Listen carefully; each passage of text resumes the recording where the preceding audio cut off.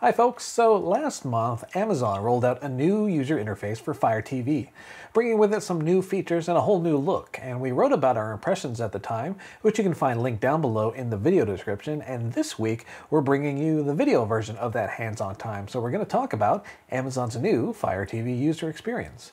Now the company sent over a sizable care package of sorts, and at the heart of that big box was a Fire TV stick for us to check out what's new. So if you're curious about what the new menus and features can offer, or if you happen to get a new Fire TV Stick or Fire TV Stick Lite during the holidays and want to familiarize yourself, well, I hope this helps. These are five things you should know about the new Fire TV experience. Number one, a fresh coat of paint.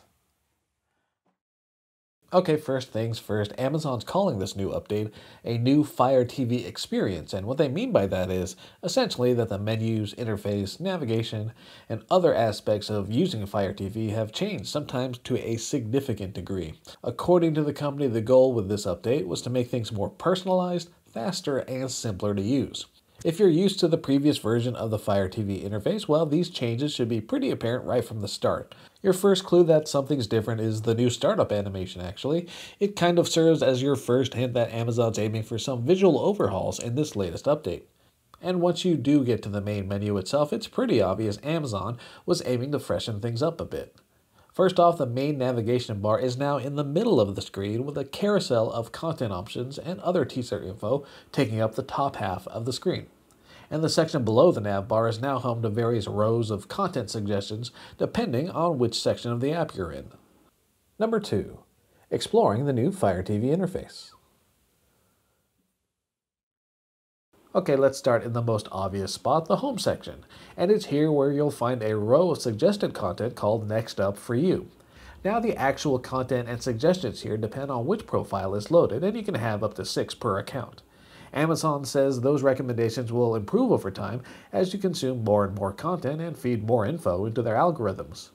We loaded up a personal profile that's used for everyday streaming, and the recommendations included Thor, Mission Impossible Fallout, and Iron Man 2. Not bad guesses considering the profile in use, but it'll be interesting to see how much more refined and successful these suggestions get over time. Also from that centrally located nav bar, you can use your remote's arrow buttons to move in different directions. Moving left or right will take you to other sections like your library or the find area. Pressing up on your remote gives that upper area more screen real estate and you'll be treated to full screen previews and teasers. While we're discussing the upper screen section, one of the choices we saw while we were filming was the option to tour the new Fire TV update. Now that might be a good starting point while you're here to give you a better idea of what's new and what's moved around a bit. Meanwhile, in the other direction, pressing down from the nav bar shifts the menus back to the top of the screen and gives you more room to explore those rows of content in each section. That bottom section changes depending on where you are in the app. In the home section, you'll see the Next Up For You row we talked about earlier. Elsewhere, you might also see sponsored suggestions, recently watched shows and movies, and various category options. Now that layout changes if you, say, move to the Find section. If you do that, the lower half transforms to display colorful tiles for categories like free, movies, and TV shows. And below those, you'll see smaller tiles for specific genres like action movies, sci-fi, horror, and more. And yes, since this is the Find section, you'll also have the option of conducting searches for specific content. And as suggested by the microphone icon, you can use your voice for those searches as well. The next major area is the live section, which offers up live streaming options for movies and TV shows. For instance, you can check out live programming on Amazon's own IMDb TV. And you have other options available depending on which live TV streaming services you're currently subscribed to. There's also a guide view that gives you that familiar live TV grid so you can see what's currently playing on various channels. And by the way, in addition to those IMDb TV options, the Fire TV interface also lets you access live content via a Fire TV recast if you have one of those as well. And besides those sections, the main navbar also features an area dedicated to customizable tiles for apps and streaming services. You can also choose to view all your apps and channels and select your favorites to see on the navbar itself. And then on the far right is the settings menu. And as you might expect, this section also gets a visual reorg. Now, the settings submenus show up as tiles in the bottom half of the screen, similar in layout to content rows you'd see in other areas of the app. You'll see options like notifications, network, My Fire TV, and more. And honestly, having them appear in a layout that mimics the other main menu areas adds a nice bit of consistency to things, at least in our opinion. Number 3. Alexa lends a hand. In addition to the facelift, Amazon says this new Fire TV interface features better integration with Alexa, the company's own virtual assistant. Amazon even sent over an Echo Dot smart speaker so we could test out those voice features ourselves. Setting up the little speaker orb was pretty simple, and then pairing it with the supplied Fire TV stick was also easy enough with the Alexa app on our iPhone. With your voice, you can use Alexa to move around in the menus, conduct searches, change between different profiles, and more. In our use, we noticed about a second or two of delay between saying a command and having that acknowledged and reflected on screen. We told the Alexa to head to the home menu, and a few seconds later, it did just that. We also searched for movies featuring specific actors, and again, after a few seconds of delay, we got a list of relevant search results.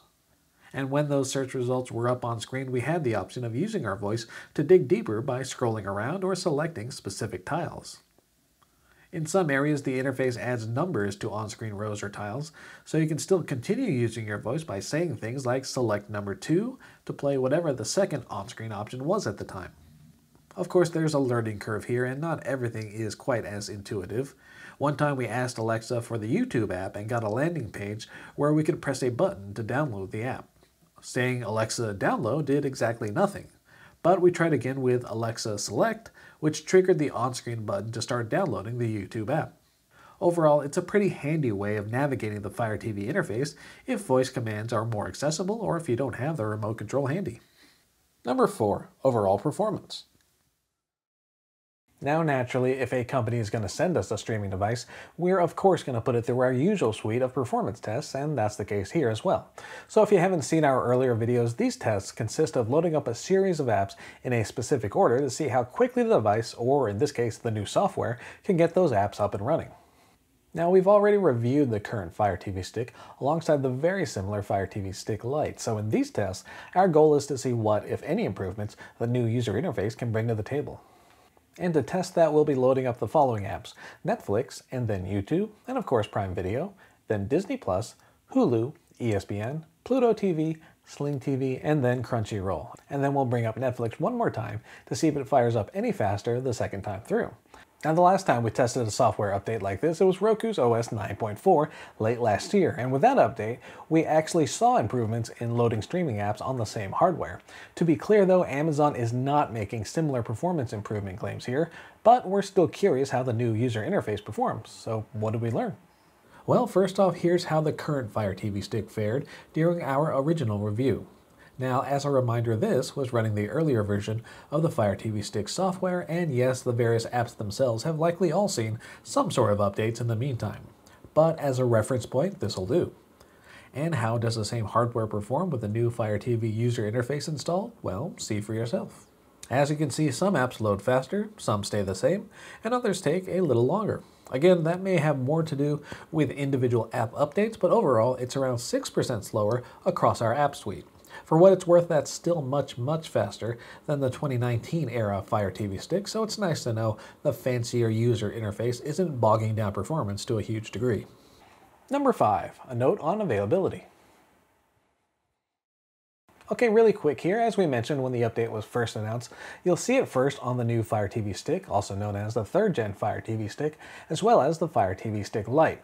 And Amazon says as of the recording of this video, all 3rd Gen Fire TV Sticks and Fire TV Stick Lite users should have access to the update by now.